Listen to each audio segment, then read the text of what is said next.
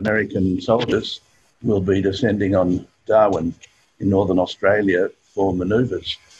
Darwin has been, Northern Territory has been relatively mercifully free of COVID 19. It hasn't got into our Indigenous population up there. This is like a ruby princess arriving, unfortunately. This is mostly men. They won't have been properly quarantined before they get here. They'll be getting out there into the Darwin pubs and bars and restaurants, having fun, doing what soldiers do. I think there's going to be a massive and completely unnecessary spike in infections in the Northern Territory. And if Australian national government were responsible, which they're not, they would be saying to the Americans, call off these manoeuvres. We're in the middle of a pandemic. Wait till next year. But it won't happen. Well, Tony, I hope that's a prediction that doesn't come true. We've had an update. I checked the relevant public documents, and there are three of these. Firstly, there's the ABC news release of 30th of March 2020 announcing US Marines deployment to Darwin postponed due to coronavirus pandemic. And that 30th of March news release made clear that because of COVID 19, federal government, on advice of the health department, had decided to postpone the exercises. It appeared to be until next year, until 2021. And the news release says that Northern Territory Chief Minister Michael Gunner spoke to the Defence Minister about the matter over the weekend. This is the right decision, he said when we're on the other side of this crisis, I know Territorians will welcome back Marines with open arms. Miss Reynolds said that she would continue her discussions with the Chief Minister. She said, I remain fully engaged with the Northern Territory Chief Minister Michael Gunner on this matter. So that was on the 30th of March. The second press release I want to report to you came out on the 6th of May, some five weeks later it was headed Alliance Cooperation Continues Amidst Pandemic and Marine Rotation to Proceed. Once again, it's a release by Minister Linda Reynolds. This morning, I spoke with my colleague and friend, US Secretary of Defense Mark Esper, and there continues to be a bit of blah, blah, blah about the alliance. And when we get to the important language, I was pleased to inform Secretary Esper that after careful consideration, the government, the government has decided that a modified 2020 Marine Rotational Force can proceed later this year, later this year, according to strict measures in place to protect against COVID 19. The decision was based on Australia's record to date in managing the impacts from COVID 19, as well as strict adherence by deployed US Marines to the mandatory 14 day quarantine and other requirements. Secretary Esper and I confirmed our respective commitments to ensuring the health and safety of Australians, with special provision for local Indigenous communities in the Northern Territory. So that was the media release on the 6th of May. The third release, which came out on the 21st of May, headed Defence Prepares for Arrival of US Marines, once again by Minister Linda Reynolds, said arrangements in the Northern Territory are in place to ensure the safe and effective conduct of the Marine Rotational Force Darwin this year. I'm pleased that the modified deployment, a reduced deployment of 1,200 Marines, not 2,000, will proceed this year following careful planning and preparations undertaken by both Australia and the United States to minimise COVID 19 risk to the Northern Territory. Each Marine will be screened four days prior to departure. They will then be screened and tested for COVID 19 upon arrival in Australia before being quarantined for 14 days at specially prepared defence facilities in the Darwin area. Each Marine will be retested at the conclusion of the quarantine period. This rotation has been able to proceed with all the necessary protections related to COVID 19 because of the excellent cooperation between the US Marine Corps, the Australian government, and the Northern Territory government. Now, let me give a bit of analysis of these three press releases.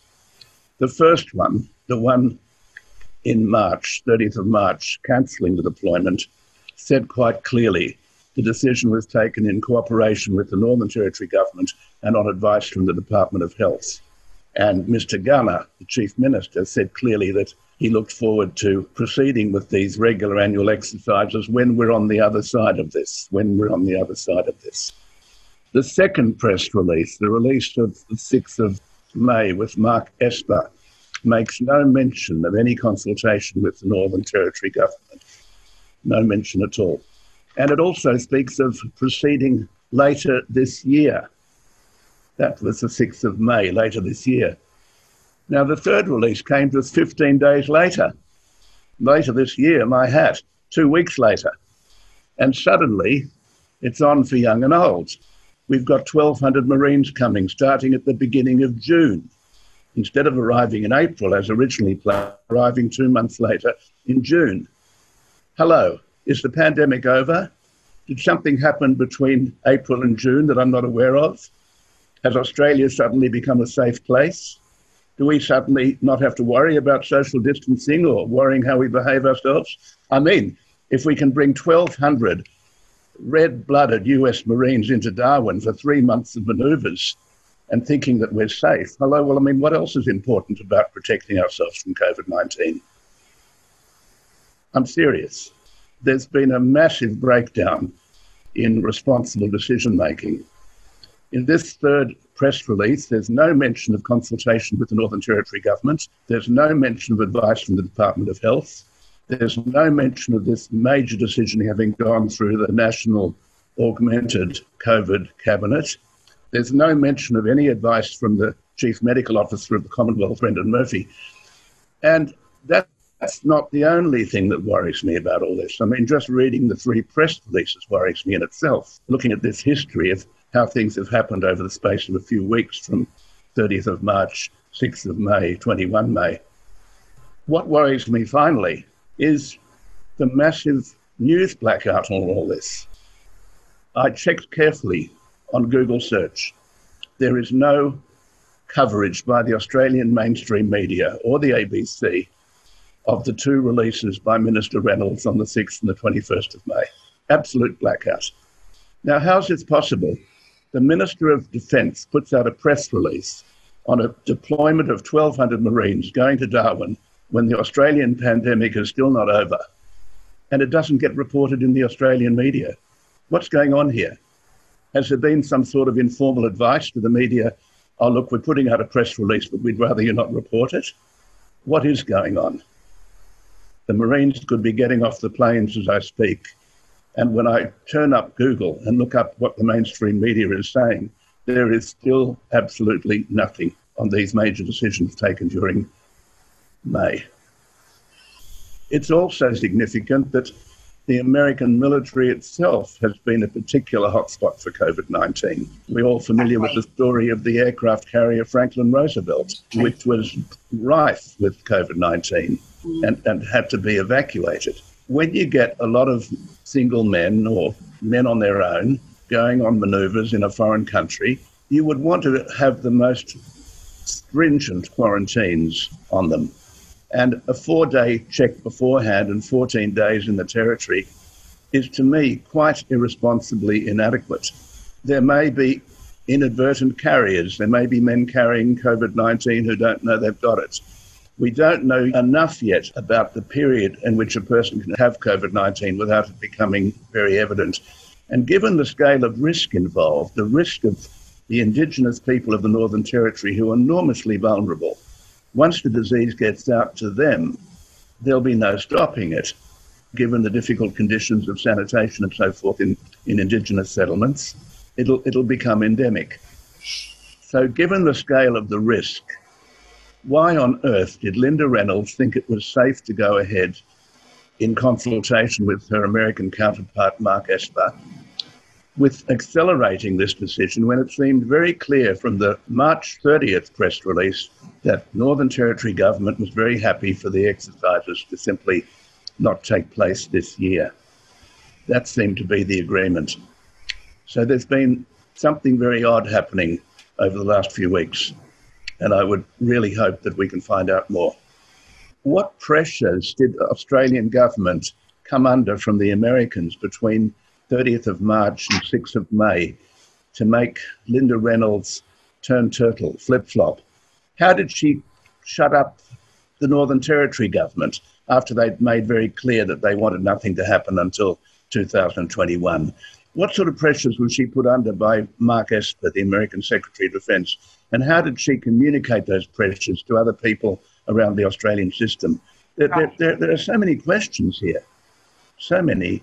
I think the first person to talk to would be Brendan Murphy to ask him whether he had been involved in the original decision to recommend that they be postponed until 2021, um, whether that was his advice as Commonwealth Chief Medical Officer to the National Augmented Cabinet.